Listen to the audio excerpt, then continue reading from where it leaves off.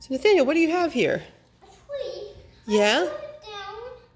I put it a little bit and the tree started to crack. It didn't quite fall down. It had to have my help. I put it by my own two hands. Did you? Didn't have any problem. Didn't need a chainsaw. Yeah? Just put it down. Wow. And what are we going to use it for? Kindling. Aha. Get alright, we're ready to wake it up. I like to get some kindling from God's forest, you see. Dear Jesus makes the great big trees and helps me use them up. Nice work there, Nathaniel. I only can get this one. Do you want to put it out on the porch? Where, where do you think we should put it? What do you think, Andrew McGee? Well, we can, I think we need to Yeah? it up and kindle. It's been a long time since we've done a story time with A and N video. But we thought this tree was just a great thing to share with everybody. Hey Andrew, look, mommy's taking a video.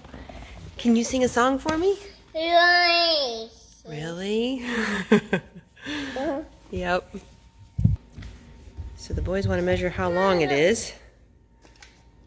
Can you help? Have Andrew hold one end of it. Andrew, hold the end for brother. Hold it on the end.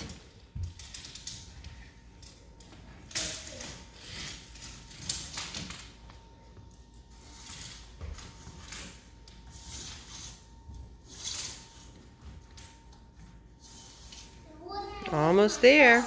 Almost there. Let's see. Okay, I think you made it. Let's put it right here at the end. Right there. Okay, how long is that? Let's see. That is seven feet and about seven and a half inches. Great. Or 90, about 91 inches all total. That's a pretty long tree there, Nathaniel. Yeah. Yep. So we've got a book that we got at the library this week that we wanted to share Yeah. with you. It's called Yeah. One More Acorn. Acorn. It's by Don Freeman and Roy Freeman. Early one morning in the city of Washington, D.C., a lively gray squirrel named Earl looked out of his treehouse and blinked his eyes. Winter would soon be here, and Earl knew it was time to go and find the acorns he had stored away last summer. Earl scampered out of his treehouse. The grass in Lafayette Square was nearly covered with a light layer of leaves. By now the sun had risen, and all the other squirrels were scurrying around trying to find their hidden acorns.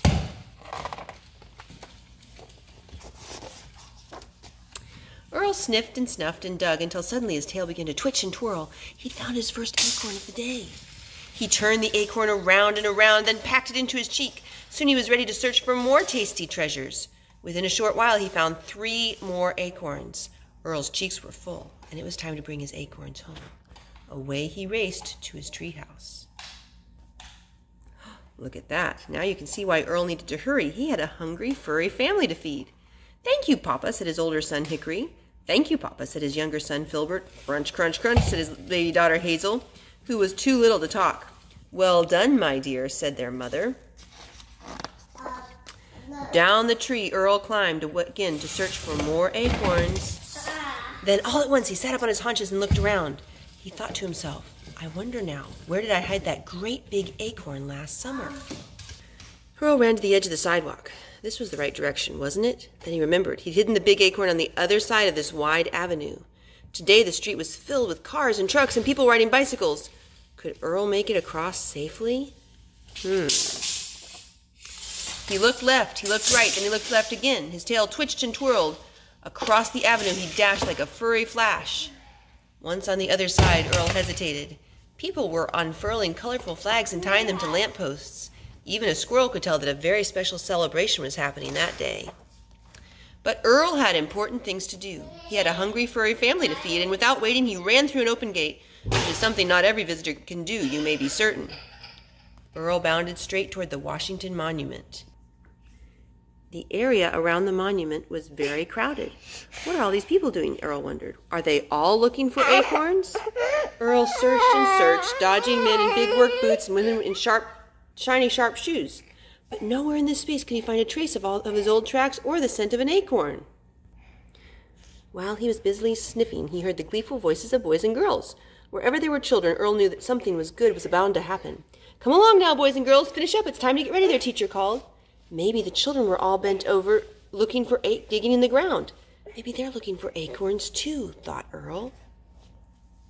Then one of the children did find an acorn. Earl's acorn! It was just the one he'd been searching for. Before the boy could pick it up, Earl raced over. His tail twitched and twirled. Do you want this acorn? asked the boy. That's okay, you can have it. Well, I'm glad to hear it, Earl thought, since it was my acorn to begin with. Just then, Earl heard a shrill voice. When teachers get need to say something, they can get loud. Hurry along, we're leaving right now. Good luck, the boy said to Earl. I have to go. Maybe we'll see each other again one day. Then he ran off to join the rest of his class. Earl bounded through the gate and ran until he came to the big street. But look, the avenue was full of people and floats. It was a parade. I'll never get across now, he thought. Earl climbed a tree to see how long the parade was, and then he scampered along the branch overlooking the street. Oh no, it goes on forever, Earl thought. But just then he saw someone who looked familiar. Now Earl, now Earl knew just what to do. He used the children's hands and he bounded across the street. After a short rest to catch his breath, Earl bounded home to his family. He took the big acorn out of his mouth and said, Look what I brought back for you. Thank you, Papa, said his older son, Hickory. Thank you, Papa, said his younger son, Filbert. Said his baby daughter, Hazel, who was too little to talk. Well done, my dear, said their mother. One More Acorn by Don Freeman. Thanks for joining us today. Good. Bye, goodbye, goodbye, goodbye, goodbye, goodbye.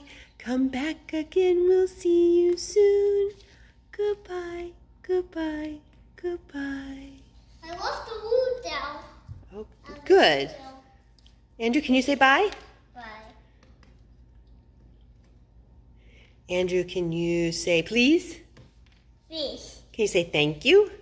Did Can you say Jesus? this. Can you say amen? Man. Good job, buddy. Andrew's learning a lot more words. We hope everyone has a good day. And Nathaniel, can you say bye? bye?